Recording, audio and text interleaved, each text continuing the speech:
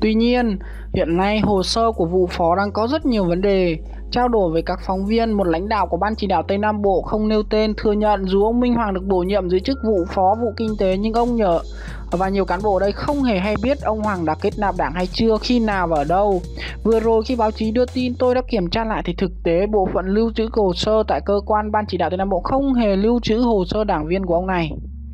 Cụ thể hơn, tại báo cáo của Đảng ủy cơ quan thường trực Ban chỉ đạo, do ông Nguyễn Quốc Việt, bí thư Đảng ủy ký ban hành hồi tháng 12, ông Việt thừa nhận ông Vũ Minh Hoàng không sinh hoạt đảng ở cán bộ cơ quan thường trực Ban chỉ đạo, không có hồ sơ đảng viên tại cơ quan này và chưa được quy hoạch với chức danh được bổ nhiệm nên Ban thường vụ Đảng ủy đã không tham gia ý kiến nhận xét và đánh giá bổ nhiệm cán bộ này.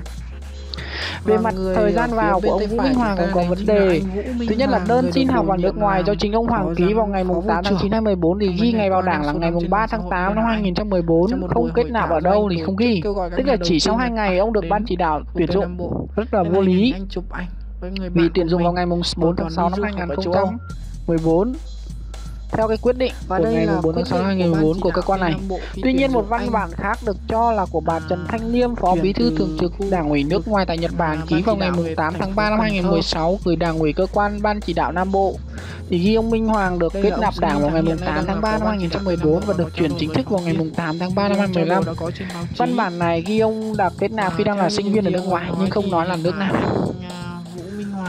Như vậy là vấn đề về lý lịch chính trị là cũng có vấn đề. Bằng loại rồi chúng ta chưa biết thế nào. Lý giải về việc này thì ông lãnh đạo cán bộ cho biết sở dĩ ban này không có hồ sơ đảng viên Minh Hoàng cũng như không nhắm chắc ông được kết nạp đảng hay chưa. Là do ông Hoàng có đơn xin không sinh hoạt đảng tại đảng bộ cơ quan thường trực ban chỉ đạo Tây Nam Bộ.